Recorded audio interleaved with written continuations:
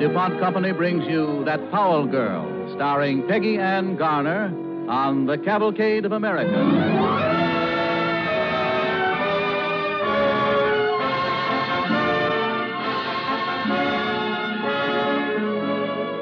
Probably the only parents who do not regard their little children as blessings are the parents of geniuses. A genius in the household is always a great responsibility and often a great nuisance. That has been said before, and it's true, but after you hear tonight's play, we think you'll agree that a child genius is a blessing, too, like all other children. First, here is Gayne Whitman.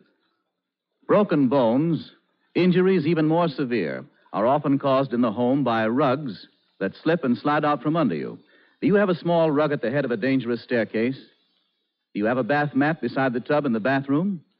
For safety's sake, make rugs stay where they belong with DuPont Rug Anchor, the sponge rubber underlay designed to make rugs stay put. No matter how slippery the floor, Rug Anchor clings.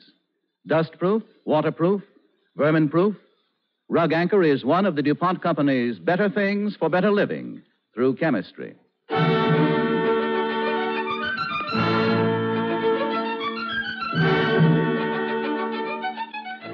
Tonight we present Peggy Ann Garner as Maud Powell on the DuPont Cavalcade of America.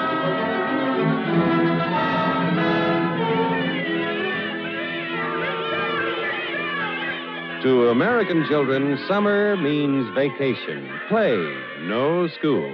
It means that today, and it meant the same in 1876, which is when our story opens. It's a warm July afternoon. All the children in Aurora, Illinois are at play. All that is, except one little girl. Maud, Maud, darling, haven't you practiced enough? You've been in there all afternoon. Oh, Mother, my hands just won't do what I tell them. Well, let it go for now, dear, and don't worry about it. Mother, my hands aren't made for the piano. Maud, darling, when I was your age, I didn't play a note. But I want to, Mother. Oh, it'll come. Don't try to rush it. Why, you already play better than any other little girl in town. And I play better than any other boy, too. Yes, dear. Now, how about a glass of milk? Mother, What, dear? the concert last night. Yes. I never heard a violin played alone like that. It was very nice, wasn't it? I've been thinking about it. My hands are too little for the piano, but they wouldn't be for a violin. Oh, I know I could play one. Now, Maud, one thing at a time. The piano first. Mother, please, please get me a violin. Maud, when I was your age, I had dreams of becoming all sorts of things an actress, and then for a while I wanted to be a lady fireman and wear red bloomers. But never a violin. Oh. Little girls don't play the violin. You just learn a little singing and a little sewing and forget about the violin. Don't you think I could learn to play one? It's a very difficult instrument. Mother, sit here, please. What for? I want to show you something. Now, you sit at the piano, and I'll turn my back so I can't see the keys. Ready? I don't know what for, but I guess I'm ready. Play a note. Any old note. Just play it. E flat. Hit another. Why, that's right. Of course it's right. Hit another. G sharp, and it's a little out of tune. C A F. Perfect pitch. You have perfect pitch, Maud Powell. Mm-hmm. Miss Ingersoll told me on Monday. She said violinists have to have perfect pitch.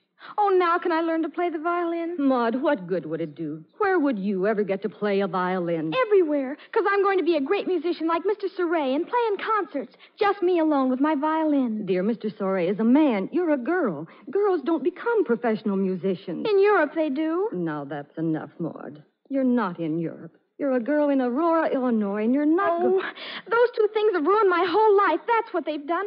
I hate being a girl, and, and I hate being an American.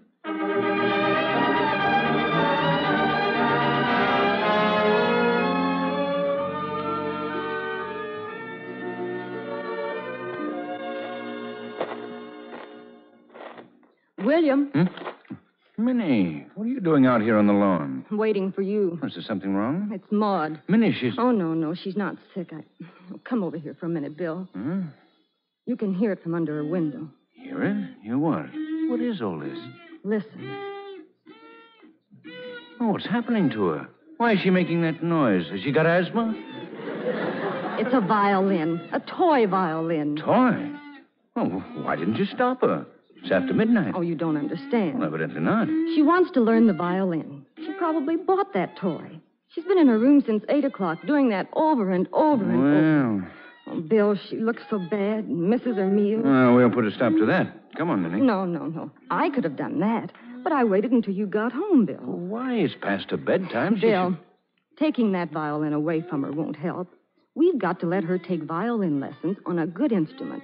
If we don't, well, well, this will go on and on. Well, I guess you're right, my dear. Well, what do we do about it?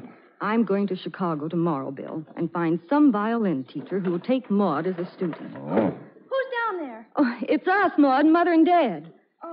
You've been listening? Yes, uh, we've been listening, Maud. I guess I'm not very good yet, am I? Well, I've heard better, but uh, uh, tell her, Minnie. Maybe she'll go to bed and get some sleep. All right. Maud, dear, we're we're going to find a violin teacher in Chicago for you.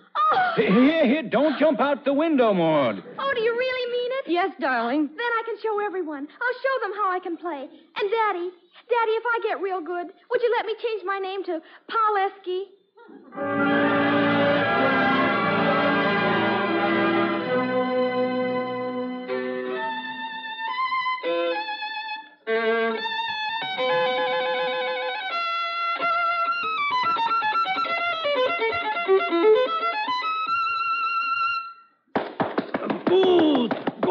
Is fine. Fine, little Fräulein, fine. Thank you, Mr. Heineman. Uh, Mrs. Powell, uh, Mr. Lewis called me here today. I expected, well, uh, so-so something or other. But this little girl... You liked her then? When Heineman, the critic, says yes, he likes it. I knew it. Her technique is nearly perfect. And I have perfect pitch, Mr. Heineman. Perfect pitch. Ah, that is nothing. Nothing. Many people have it, but many people do not have what you... Mr. Lewis. Yes? uh, how long did she work on this Bach Preludio? About a month. It's her graduation exercise. And next week she's to play the Mendelssohn Concerto at a concert with the Orchestra Society in her hometown. It's her first public performance. Only a month. You ought to be congratulated, Mr. Lewis. I wish I deserved the compliment, Mr. Heineman.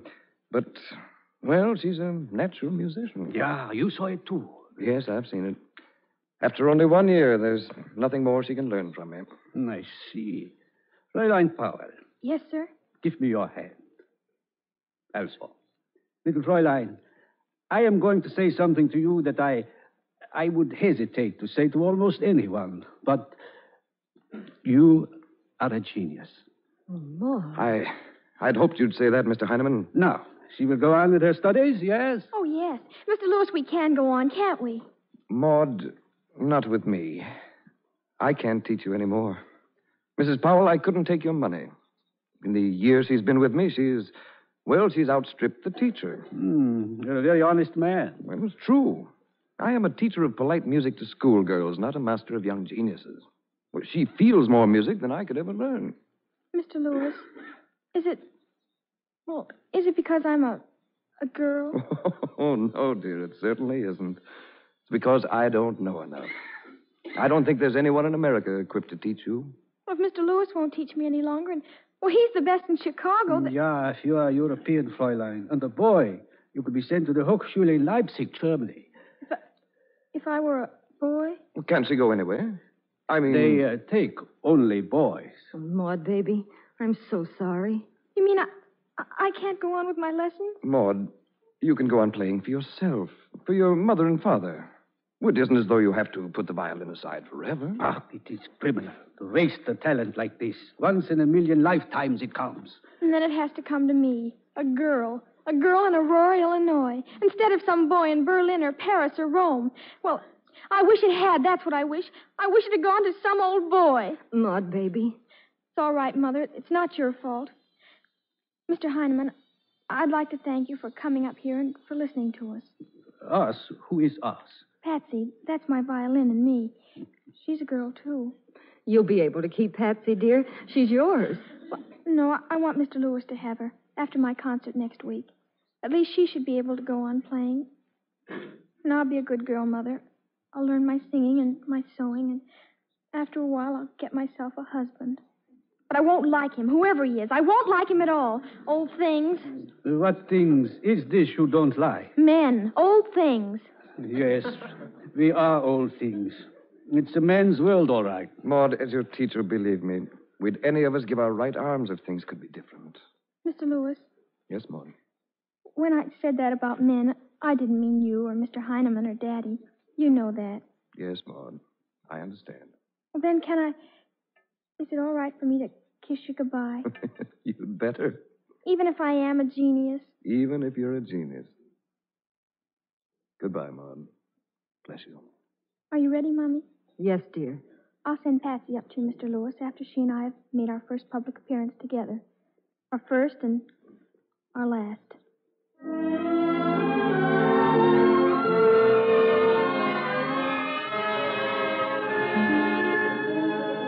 And so Maud Powell met her first setback when she realized that further study in America was impossible for her, and that being a girl had limited her possibilities of studying in Europe. But she gave her first public performance in her hometown of Aurora, Illinois, to an audience that overflowed the seating capacity and one that sat enthralled while she played.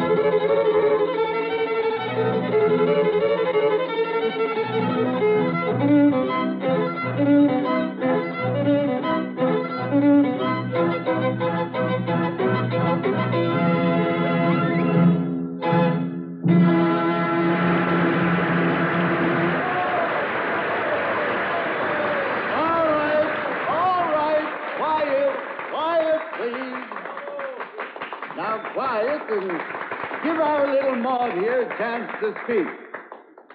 All right, Maud. Well, ladies and gentlemen, thank you. I'm so glad you liked it, and I want to thank all the gentlemen in the orchestra for accompanying me. I hope they didn't feel silly accompanying a girl. it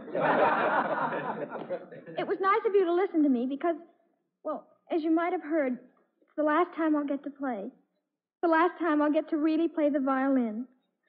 Thank you, and goodbye. Good night, Maud Powell. Thank you. Mother, I'm sorry. Come on, let's go home. All right, dear. Let's give the Powell family a great big hand as they go out. Good night, Minnie and Bill and Maud Powell. Good night and thanks. Well, now, folks, uh, before we break up, I've got a couple of words to say. Uh, as mayor of this town, I'm awful proud of that little girl, and I guess you are too. It seems to me it's a crying shame she can't go on with her study.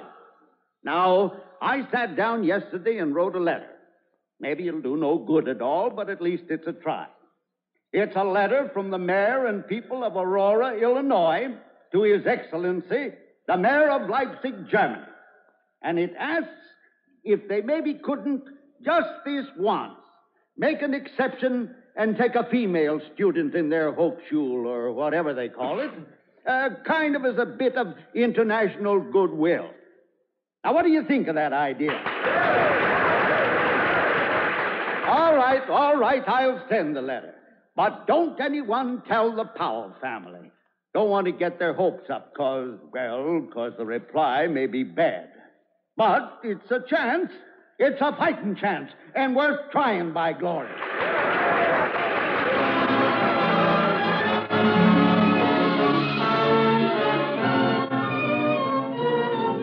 You're listening to Peggy Ann Garner as Maud Powell in That Powell Girl on the Cavalcade of America, sponsored by the DuPont Company, maker of better things for better living through chemistry.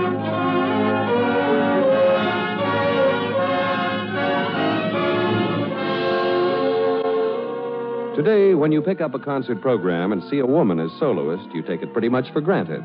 But it took a spunky little girl named Maud Powell, a girl with the same courageous spirit American women have always displayed, to really convince the world that women should be accepted as equals in the concert and music world. Maud made her first and she thought her last public appearance as a concert violinist in Aurora, Illinois. But the people of the town determined that Maud should play for the world. A collection realized enough money to send her to the Hochschule in Leipzig. But there, she faced competition where a girl had never before stood.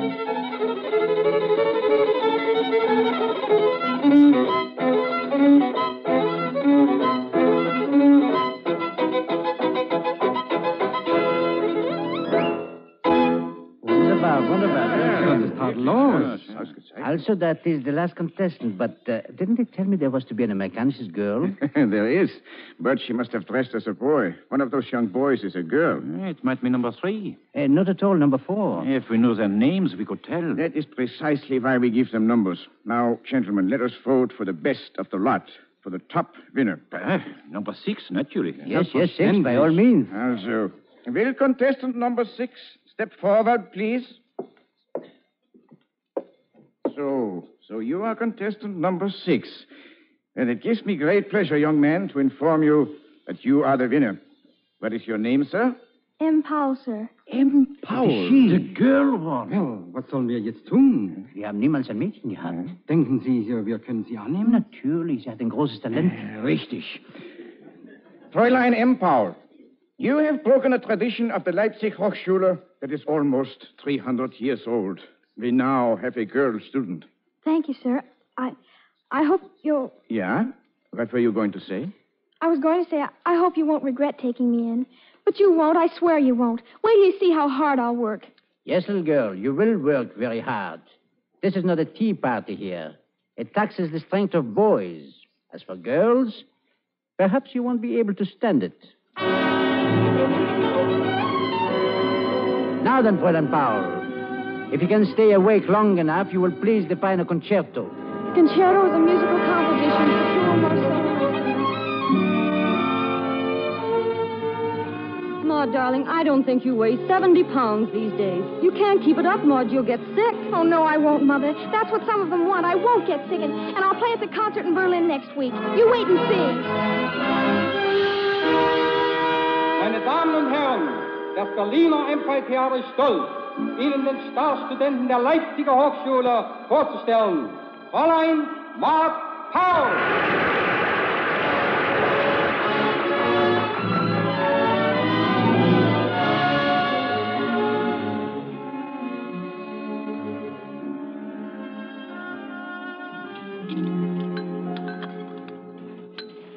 Mmm, Mother, that coffee smells good. Couldn't I have some Cambridge coffee, please? Eat your breakfast, dear. You may be the toast of Berlin, but you're still not old enough for coffee. All right. Any mail that's interesting? I'm just looking. There's nothing from home. I do wish your papa would write more often and tell me. What is it, Mother? What's the matter? Here's one that says from Buckingham Palace in England. Have you any friends at court, dear? What is it? Her Majesty the Queen requests the honor. Maudie, a command performance. You're to play before Queen Victoria in Buckingham Palace.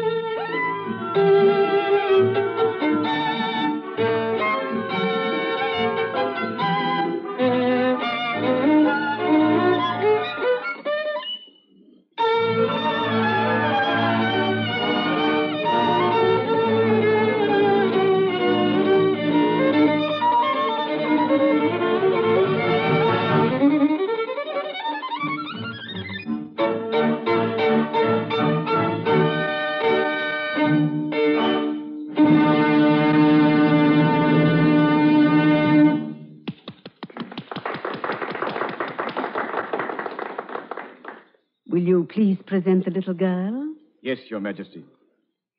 You curtsy very nicely, Miss Powell. Thank you, Your, Your Majesty.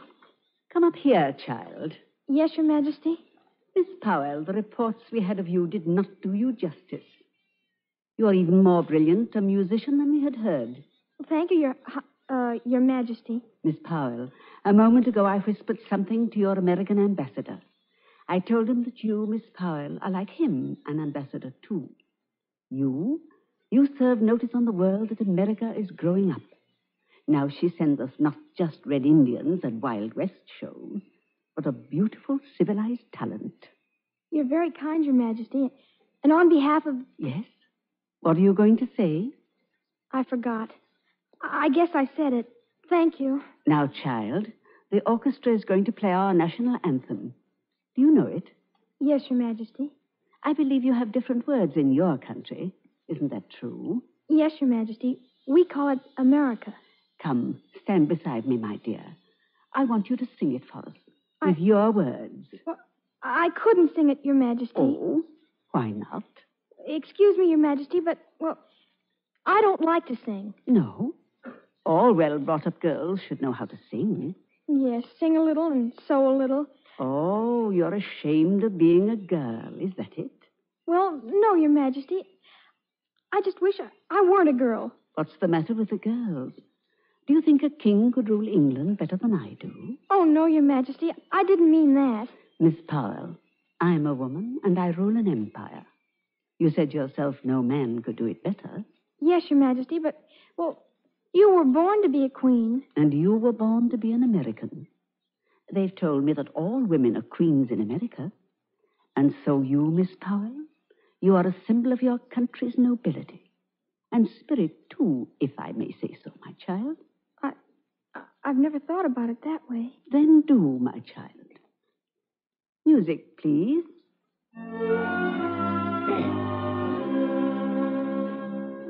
My country, tis of the sweet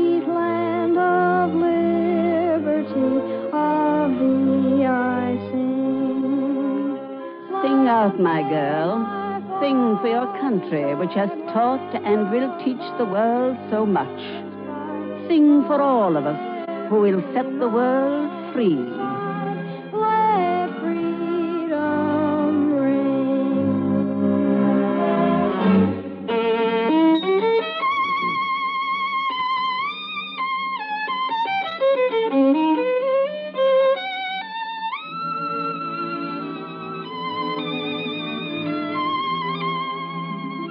From then on, Maud Powell was known as one of the greatest concert violinists in the world. This great American genius might have been just a village music teacher had it not been for the community spirit of her fellow townsmen who financed her studies. That spirit is typical of America, and a peculiar thing it is that a nation so vast can seem so comfortingly small when you need a good neighbor. That is America, though, a community where we guard the precious welfare of all our citizens.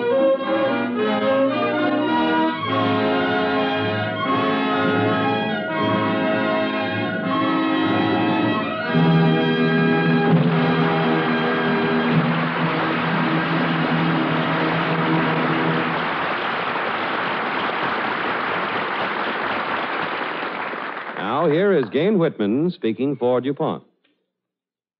During the holiday season, every year, you are asked in one way or another, by a friend, by mail, or perhaps over the radio, to buy colorful Christmas seals of the National Tuberculosis Association.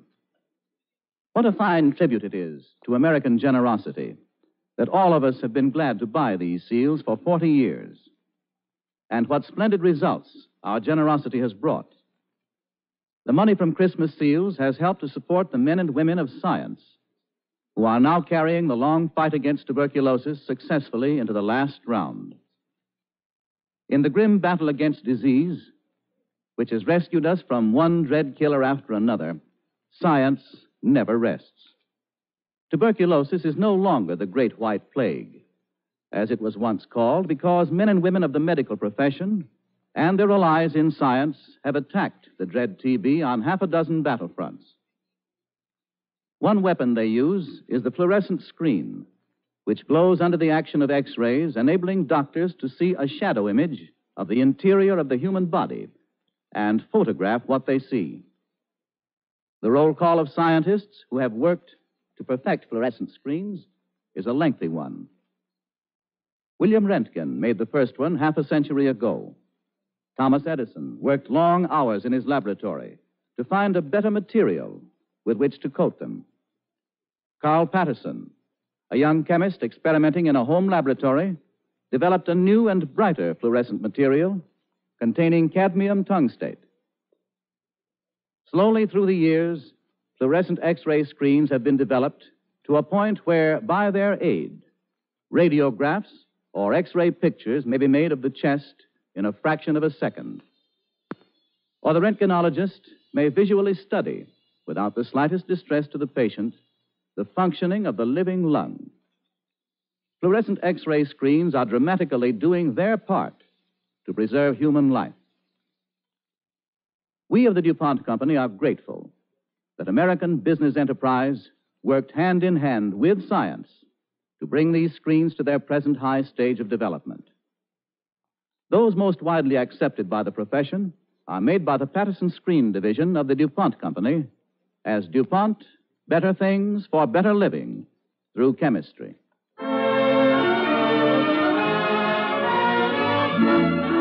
Next week, in commemoration of Christmas, the DuPont Cavalcade brings you a specially prepared Christmas program. Instead of a Christmas story, you will hear an entire program of some of the best loved Christmas carols of all times, sung by the DuPont Company Chorus. The DuPont Chorus is composed of 177 employees of the DuPont Company and is under the direction of Daniel W. Boyer. Among some of the songs you will hear is the gay Deck the Halls, which is loved and sung in the British Isles, the warm and tender carol Jesu Bambino, and by popular request, the chorus concludes the program with the beloved favorite, Silent Night. Be sure and listen next Monday at the same time when the DuPont Company Chorus will bring you a special program of Christmas carols on the Cavalcade of America.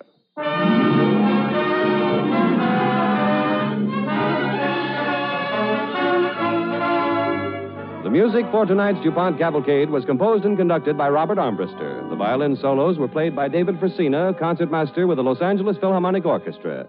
Peggy Ann Garner may soon be seen in the 20th Century Fox Technicolor picture Bob, Son of Battle. Our Cavalcade play was written by Luther Davis. In the cast with Peggy Ann Garner tonight were Helen Bennett as the mother, William Johnstone as the father, Herb Butterfield as Heineman, Tom Collins as Lewis, and Gloria Gordon as jo- Queen Victoria. This is John Heaston inviting you to listen next week to a program of Christmas carols sung by the DuPont Company Chorus on the Cavalcade of America, brought to you by the DuPont Company of Wilmington, Delaware.